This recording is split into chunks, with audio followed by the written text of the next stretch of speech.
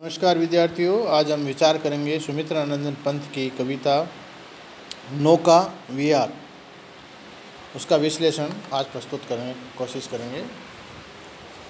जिन लाक्षणिक विशेषताओं को लेकर छायावाद का अभ्युदय होता है, ये अतिशयोक्ति नहीं है कि ये विशेषताएँ पंत जी की नौका विहार कविता में मूर्त हो गई है। छायावाद में पंत के नाम से वस्तुतः प्रकृति पर कविता का अर्थ रूढ़ सा हो गया। निसंदेह पंथ के यहाँ प्रकृति को केंद्रीय भूमिका मिली। और पहली बार हिंदी कविता में प्रकृति के केंद्रीय महत्व को हम संस्कृत काव्य धारा से भी आगे बढ़कर पहचान सके। सामंतवादी अभिरुचियाँ और बाज़ार तंत्र, या तो प्राकृतिक सौंदर्य का बाजारीकरण करती है, या फिर प्रकृति की शोभा उगाने का साधन बनती है। जैसा कि आज के परिदृश्य में विभिन्न पर्यटन केंद्रों की स्थापना के मूल में यही विचारधारा देखी जा सकती है। ये शक्तियाँ मानवीय चेतना से प्रकृति का निर्वासन करती है, खासकर ऐसी स्थिति में जब उन्हें पूंजी का बड़ा स्थापन मिल जाता है। उत्तर आधुनिक परिदृश्य में बाज़ार तंत्र की ये पकड़ अत्यधिक दृढ़ हो गई है और तब ये स्वाभाविक ही है कि मनुष्य अपनी सांस्कृतिक अस्मिता या अपने स्वत्व के पुनर्वास के लिए कालिदास और सुमित्रानंदन पंत जैसे कवियों की तरफ़ लौटे। इस बात पर यदि गौर किया जाए तो ये स्पष्ट हो जाता है कि पंथ के प्रवर्ती अज्ञेय जी जो छायावाद के, रोमानियत के सख्त प्रतिकार करते हुए प्रयोगवादी काव्य धारा में गद्यात्मकता की बात करते हैं, वह भी कालांतरण में औद्योगिकरण के बढ़ते चरणों में मानवीय चेतना के उक्त निर्वासन को देखते हुए असाध्य वीणा कविता में प्रकृति के प्रति उसी रागात्मक मोह की तरफ़ लौटते हैं, जिसका वह अपने विरोध कर चुके हैं। इससे और अधिक आगे देखें तो उत्तराधुनिक विभिन्न विद्रूपों के बीच मानवीय अस्मिता के संबंध, भयावह सवालों के लिए हुए अरुंधति रॉय के उपन्यास the God of Small Things में प्रकृति के प्रति मनुष्य के दायित्व और उस दायित्व का प्रसार रागात्मक आकर्षण तक अप्रत्याशित रूप से ही नहीं हुआ है। स्पष्ट है कि आज के परिप्रेक्ष्य में हम नौका विहार का पाठ, छायावाद की कोमल पदावली, चेतना को आधार मानकर नहीं कर सकते। इस रचना को वर्तमान संदर्भों में पढ़ते हुए ये याद रखना स्वाभाविक है कि मनुष्य और बाज़ार के बीच के उभर रहे गंभीर सांस्कृतिक संकटों के लिए चुनौतीपूर्ण अंदाज में देखने की प्रेरणा देती है। ये उस समय की रचना है जब पंथ जी काला कांकर के राजभवन में रहते हुए शांत मन से काव्य रचना में संलग्न थे। निसंदेह, अपने समय के परिप्रेक्ष्य में ये रचना बहुत ज़रूरी सवाल छोड़ जाती है। बहुत हद तक ये सवाल व्यंग्यात्मक टोन में उभरता है कि जब एक राष्ट्र पराधीनता के संकट से जूझ रहा था, तब पंथ नौका विहार कर रहे थे। वस्तुतः प्रकृति के प्रति पंथ के सौंदर्य बोध और निराला के सौंदर्य बोध के बीच ये स्पष्ट विभाजन रेखा खींची जा सकती है। निराला जब भी प्रकृति का चित्र उठाते हैं तो प्राय उनके जीवन और जगत के कठोर संघर्ष की हलचल सुनी जा सकती है, परंतु पंथ में इन चीज़ों के प्रति वो बेसुध है। छायावाद की व्यक्तिक चेतना पंथ के यहाँ ठोस क्रिस्टल के रूप में चमकती है। व्यक्तिकता, आत्मानुभूति, सहानुभूति, कल्पनाशीलता, सूक्ष्म चित्रप्रियता स्वप्निल अनुभूति और कोमल भंगिमा युक्त भाषा आदि विशेषताएँ जो पूर्ववर्ती धारा के अलग हटकर अपनी पहचान छायावाद के रूप में निर्दिष्ट करती है, ये नौका विहार में देखी जा सकती है। इस दृष्टिकोण से इसे छायावाद की प्रतिनिधि रचना के रूप में माना जा सकता है। तापस बालासी, गंगाकल, शशिमुख से दीप्ति मृदु करतल लहरें उर पर कोमल कुंतल गोरे अंगों पर सीर सीर लहराता तार तरल सुंदर चंचल अंचल सा नीलांबर उक्त छंद का यदि विश्लेषण किया जाए तो पहली बात तो यह है कि उस समय चल रहे नए काव्य आंदोलन खास रूप से प्रकृति के अनुरूप पंथ जी प्रकृति का मानवीकरण करते हैं। संस्कृत काव्य परंपरा में कालिदास के यहाँ खूब मानवीकरण हुआ।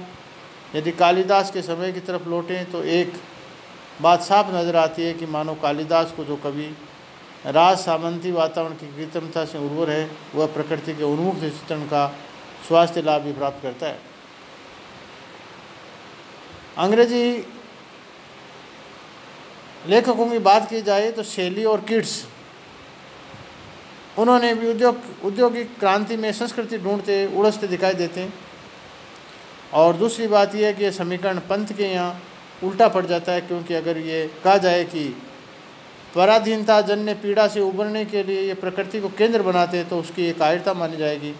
बाद के प्रगतिवादी संवेदनाओं के रचनाकारों और आलोचकों ने छायावाद के पलायनवादी घोषित किया कर दिया था, लेकिन ये तो दृष्टिकोण हुआ, छायावाद को अपनी रचनात्मक अप्रियता के तहत यदि इस रचना का मूल्यांकन किया जाए तो एक बंद छंद छायावाद की चित्रशैली के रूप में सुंदर नमूना है।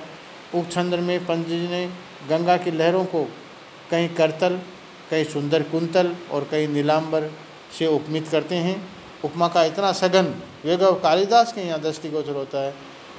इस कविता के अंतिम छंद बंद में कतिपय आलोचनों ने कविताओं को सघन वैचारिक श्रृंगार सा लगता है, किंतु आलंबन रूप प्रकृति का वर्णन करते हुए उसे इस प्रकार दार्शनिक विचारधारा की पृष्ठभूमि में निष्पन्न करने के लिए कविता का अंत सपाट सा दिखाई देता है।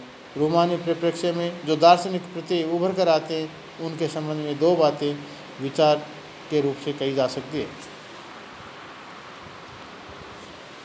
वस्तुवादी चिंतकों का मानना है कि रुमानी स्रोतों से उभरने वाले विचार जैसा कि नौका विहार में दृष्टिगत है।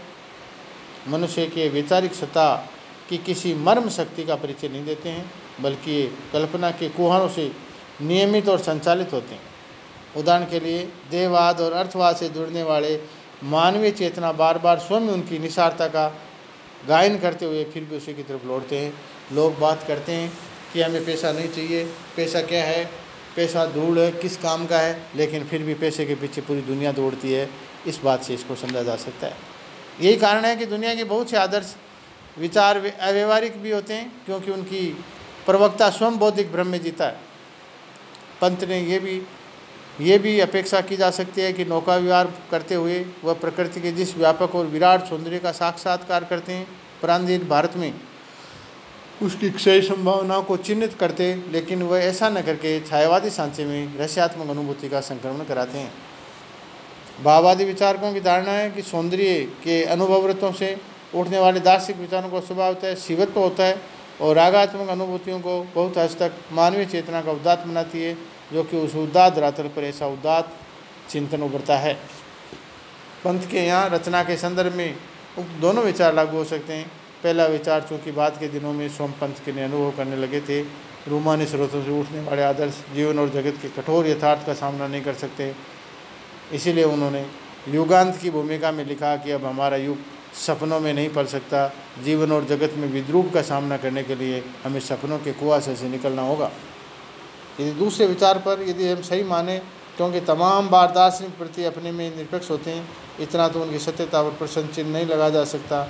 इस धारा सा, जग साक्रम शाश्वत इस जीवन का उद्गम, शाश्वत गति, शाश्वत संगम। वैदिक दर्शन को लेकर पौराणिक दर्शन तक अनन्य दार्शनिक विचारधाराओं में भी मायावाद और जगत में नश्वरता का समानांतर सृष्टि चक्र का उदाहरण मिलता है, जिसका अर्थ है कि चक्रीय प्रक्रिया में सत्य शाश्वत है और चक्रीय क्रम में सृजन और विनाश चलता रहता है। पंत जी ठीक इसी बात इस कविता में कह रहे हैं कि जीवन गंगा की धारा की तरह है। इस संसार का क्रम उद्गम, गति और संगम भी शाश्वत है। उल्लेखनीय है कि सौंदर्य मूलक रहस्यवादी चेतना में मनुष्य को नश्वरता के भय से मुक्त करते हुए जीवन को शाश्वत विकास में अपनी चेतना के योगदान के प्रति एक प्रकार का आश्वासन सा दिया गया है। शाश्वत है गति, शाश्वत संगम। जहाँ मायावाद के चलते क्षणवाद इतना हावी हो गया कि मानवीय चेतना सौंदर्य का आस्वादन नहीं कर सके और नए जीवन और जगत की गति में निश्चित मन योगदान कर सके, वहाँ उनके लिए सौंदर्य परक रुझान, अंततः कर्मवाद की सी नियति प्रतीत होती है। पंथ को गंगा की लहरों का शाश्वत विलास, नभ का शाश्वत विकास और चंद्रमा का शाश्वत हास को देखकर जन्म मरण के आर पार विराट की याद आती है। हे जग जीवन के कर्णधार, चिर जन्म मरण के आर पार शाश्वत जीवन, नौका विहार। नौका विहार के इर्द उठने वाला सौंदर्य चित्र यहाँ व्यापक अर्थ प्रसार पाकर जीवन नौका में परिणित हो गया है। जीवन एक नौका विहार है, जैसे नौका विहार के आनंद में प्रकृति के अकूत सौंदर्य नज़र आता है। लहरों से घूंघट में झुक झुक दसवीं का निज तिरक मुख दिखलाता है मुग्धा सारूप वैसे हर मनुष्य को जीवन रूपी नौका विहार के आरंभ में सौंदर्य और स्वप्न राशि दिखाई देती है। लेकिन धीरे धीरे नौका विहार समाप्त हो जाता है, वैसे ही जीवन भी विराम ले लेता है, लेकिन ये गति शाश्वत है, मानवीय सभ्यता भी उसी शाश्वत क्रम श्रृंखला में विकसित हुई है, यही किंचित शाश्वत ज्ञान है यदि व्यक्ति अपने और अपने समाज का अमृत्व प्राप्त प्रदान कर सकता है तो यही है कि वह अपने जीवन और जगत के शाश्वत विकास को समझे, उसमें अपनी सक्रिय भूमिका नियत करे। कविवर सुमित्रानंदन पंत छायावाद की, जिन कवियों में एक है, अपनी समूची रचना सामर्थ्य के साथ एक बार एक तरफ़ छायावादी काव्य आंदोलन का प्रवर्तन में अपना सहयोग देते हैं तो दूसरी तरफ़ रचना धर्मिता के वैशिष्ट्य के साथ कलात्मक और भावात्मक दोनों दृष्टियों से छायावाद के शिखर प्रतिष्ठा में अपना योगदान निश्चित करते हैं।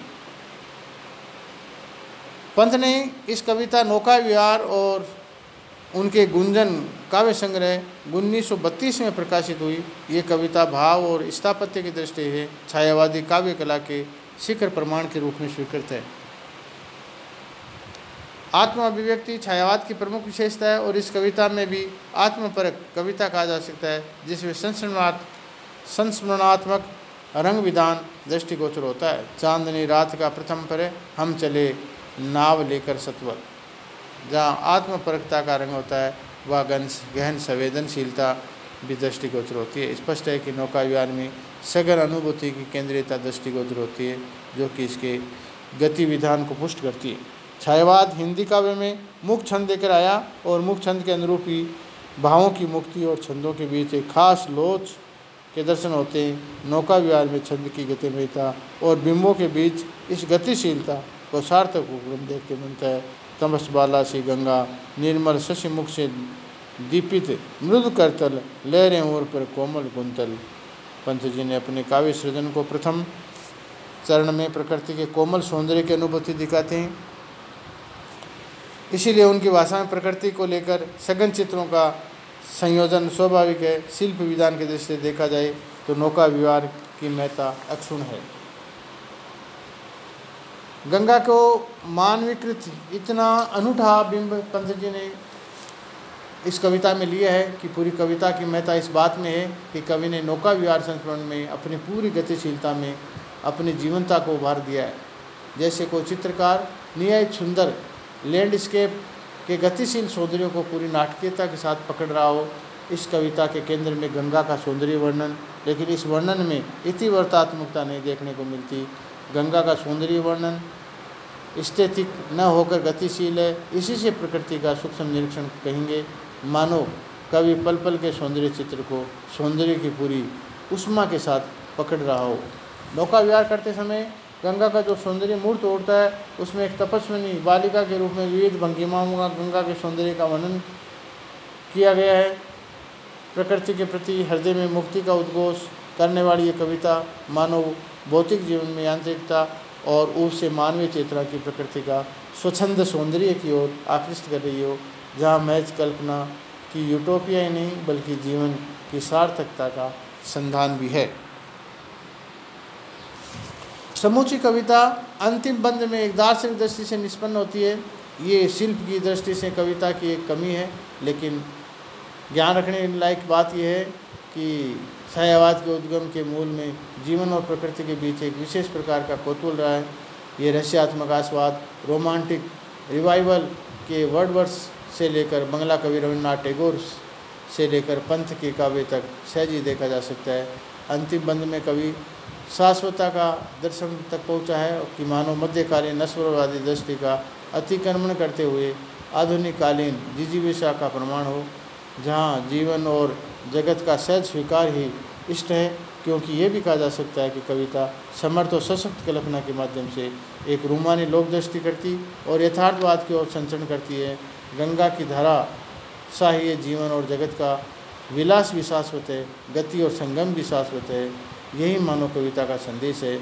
शाश्वतता ही किसी दर्शन को स्वीकार कर लेने से सुविधा ही निहित नहीं, अर्थात कवि ने यह आरोप नहीं लगाया जा सकता कि वह सरलीकरण का शिकार है, बल्कि इस हास, इस शाश्वतता के प्रतिपादन में जगत और जीवन की वे संभावनाएँ विद्यमान है, जिसके लिए कोई भी सभ्यता संघर्ष करती है।